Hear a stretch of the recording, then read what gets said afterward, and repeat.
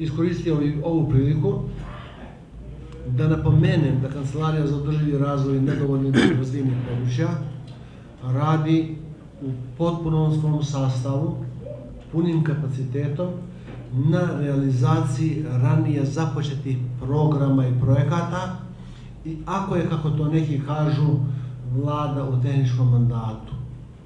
Ako je vlada u tehničkom mandatu, poljoprivrednici to nisu. Znači mi moramo da radimo s poljoprivrednicima punim, punom parom.